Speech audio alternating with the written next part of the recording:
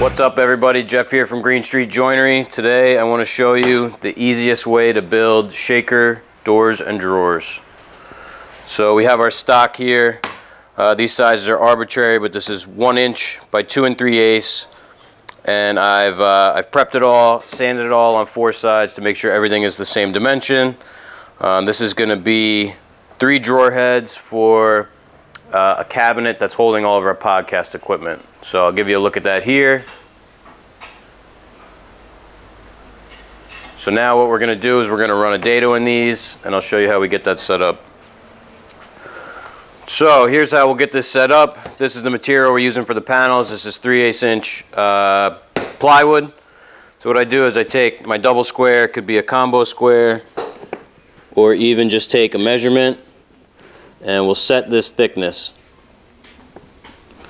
Now what we do, we take one of our pieces and we transfer this dimension over. What you want to do is measure what you have left over. So what we have here is 5 eighths of an inch. So that's what's left over after we take the dado out of this to accept the plywood. So we have to divide that in half, 5 sixteenths. 5 eighths divided by 2 is 5 sixteenths. So we'll have 5 sixteenths or 3 eighths inch dado and 5 sixteenths again. So now that we have our general dimensions figured out, what we need to do is we need to mark the rough dado on this piece. So what we'll do is we'll set our square to 5 sixteenths. And we'll come in from either end and mark turn this around, make it a little easier on myself.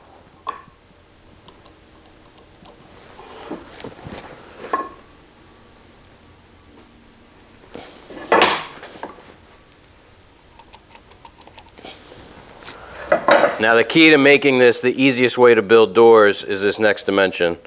We're going to mark the depth of the dado, and that's a half inch.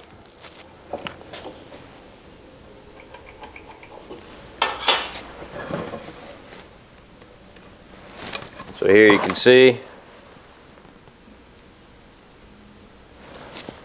that's what we need to cut out. What we have here in the saw is quarter inch dado stack. Now typically we're working with half inch panels so we would do this with a 3 8 inch uh, dado stack. This is a shop project so this 3 8 inch is fine. Uh, 3 8 inch plywood rather. So a quarter inch dado is what we're going to use. Now typically what you would do is you would take this dimension from this side of the board to the dado and set your fence here. But a trick I recently learned was to actually do it the other way around. So we're going to take the dimension uh, from this side of the board to the far side of the dado, which is 22 30 seconds, which comes out to 11 16. 11 16ths, Rob with the uh, with the assist. With the. And we're gonna set our fence here to this side of the blade, 11 16ths. Kids pay attention in school. That's right. All right, so we got 11 16ths and, and we'll actually, we'll give it just another little tap because we're gonna creep up on this. The way to set your height is to just take the piece, butt it up against the blade. This is a little easier if you have the fence out of the way first. And again, we're gonna leave it a little bit low and we're gonna creep up on these final dimensions. It's not critical that these are exact right now.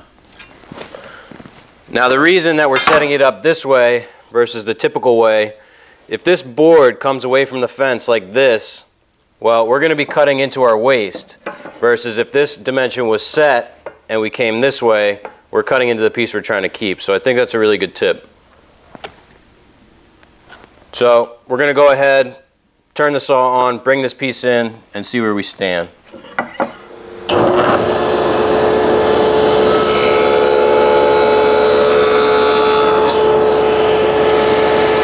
Right, so check it out. This is our first pass. You can see we have a little bit here that we need to take off, and we have a little more height. So I'm just going to keep creeping up on these. I'm going to get right to keeping my line. I'm going to flip the piece around, run it through again so that I cut this section out here, and then I'll test and see if my piece fits.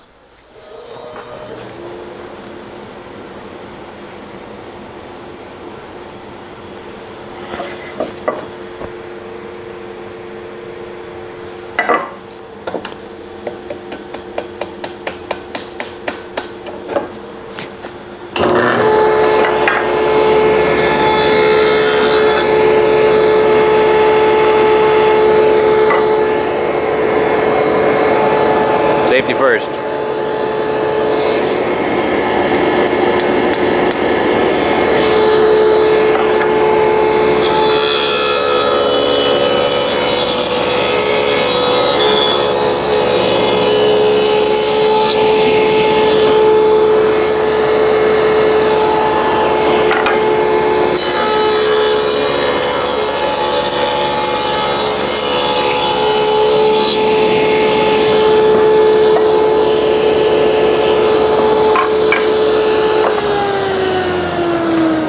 So now that you think you've got your dado close, you're going to come over to our, our panel material and give it a shot, see if it fits. See that, that fits nicely. Not super tight, but goes on easy without a lot of wiggle.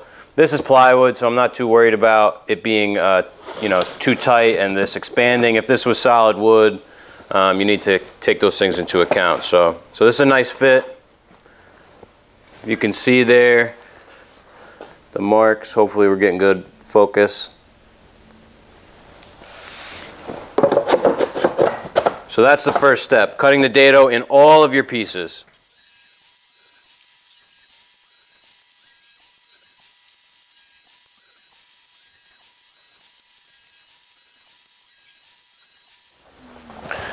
So here's what we've got. Our top drawer will be 4 and 3 eighths inches high by 22 wide. Our middle drawer will be 9 and 3 quarter inches high by 22 wide, and our bottom drawer will be 14 and a half high by 22 wide. So essentially what we need to do, we need 22 inches here. So we need to find out what size this rail needs to be. So the easiest way to do that is to flip these pieces around, put them outside to outside.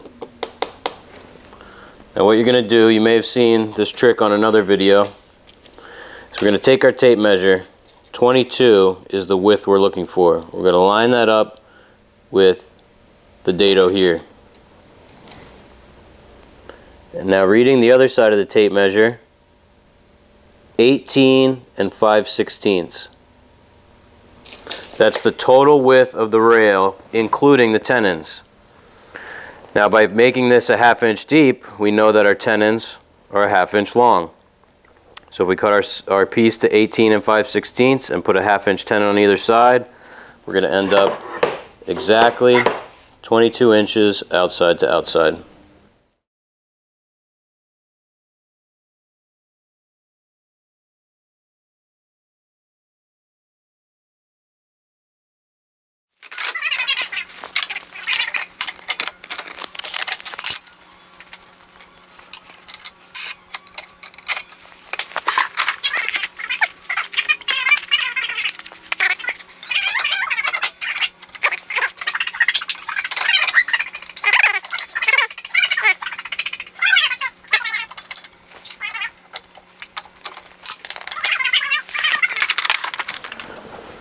So our next step here is to cut the tenons on these uh, rails.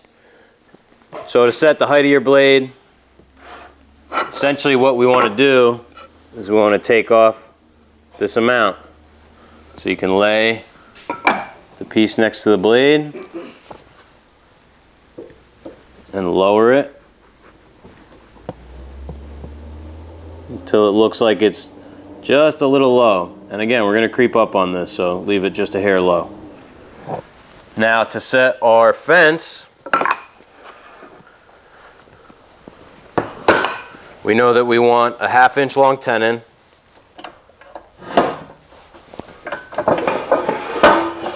You can tell our saw needs a little adjustment on the wings. So actually I like a square for this. Our dimension from the fence to this outside of blade wants to be a half inch. Now I changed this over to a 3 8 inch dado. I added one, one blade. Now again, leave this a little bit light.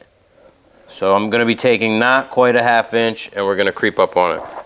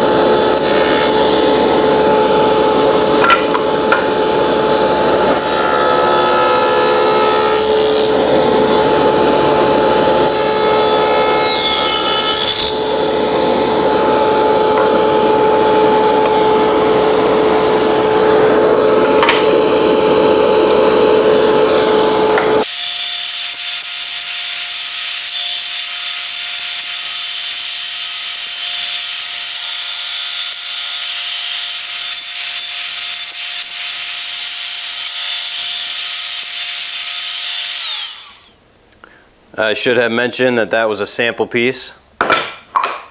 So this is the fit that we're looking for.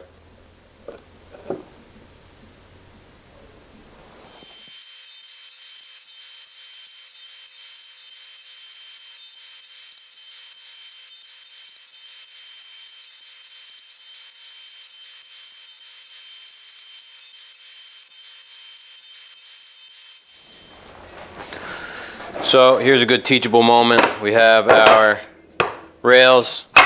So our top drawer, four and three eighths high. Uh-oh, no room for a panel. It's actually too big. So what we're gonna do is we're actually gonna rip a portion off this side. So we're gonna leave the dado and we're gonna rip these down to probably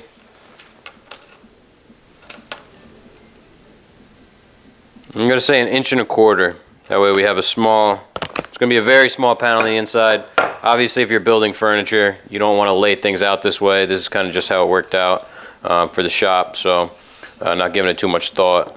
But follow good design proportions. We wouldn't be using these sizes in real life. So we'll rip these down and we can measure for our panels. So there you go. You see I cut these down. Gave ourselves a nice little panel in here.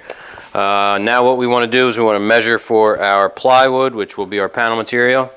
Uh, easy way to do this is to measure, basically dry fit your door. You can measure here. So the width I have 17 and 5 sixteenths. So we know that we have 18 and 5 sixteenths here. That's an easy one. The overall rail length is the length of your panel. Now depending on what material you're using, you want to subtract some uh, some bit of dimension there to account for expansion and contraction. This is plywood, so I'll take off a, a 16th. So we'll make our panels 18 and a quarter inches wide.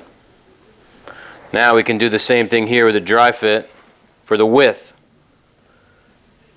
We have an inch and three eighths. So we know that there's a half inch here and a half inch here. That's two and three eighths. We'll take off a 16th. So that's 2 and 5 sixteenths. So this piece will be 18 and a quarter long really and 2 and 5 sixteenths wide. And we'll repeat that with the other two.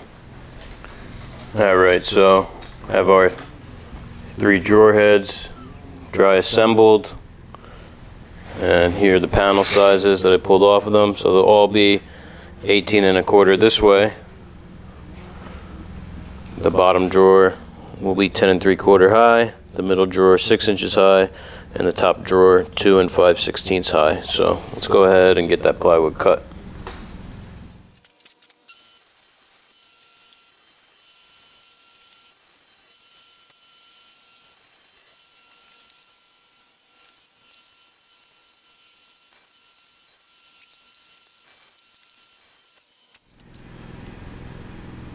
So now that we have our panels cut, it's a good idea to actually dry fit these uh, just to make sure you didn't mess something up before you start gluing them up. So here, if you can see, we move the camera.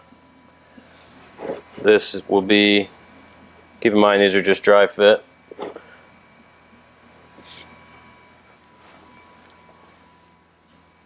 These are our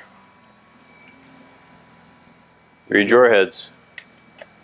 Now these we're not going to paint. We're not going to be too fussy with these because they're just for the shop. Um, you know, we like to do things like make a frame and panel door, but I'm not going to spend all day, um, you know, sanding everything perfect and staining it or painting it. Might throw some tung oil on it, but um, if these are painted, you're going to want to paint these panels first or at least paint the edges. Because when this door frame expands and contracts, you don't want to see any unpainted portions become uh, revealed. Same same for stain. If you're going to stain it, uh, make sure you stain the panels first. So let's glue them up. I'll show you what the cabinet looks like all finished.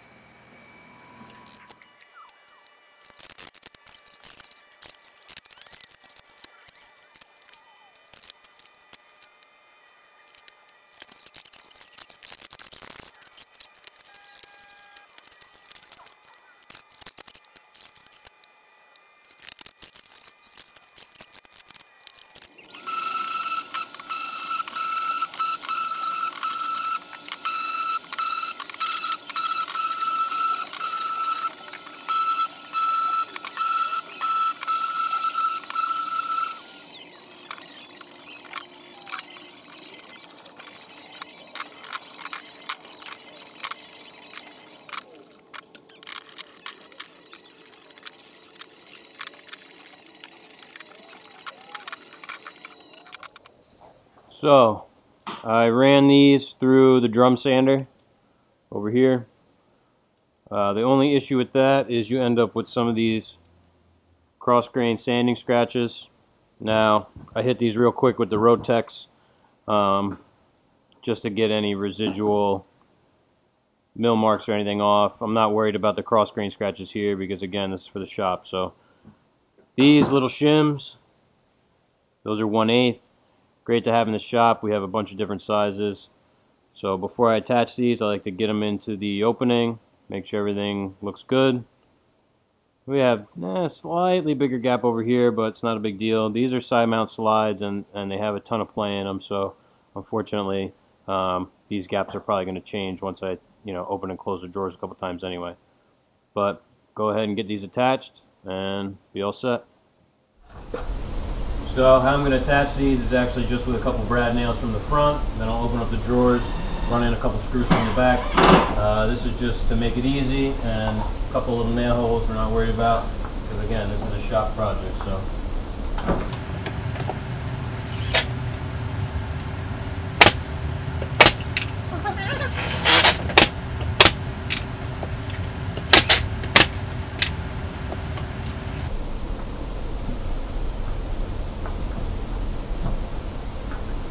So there you go. That's the finished look.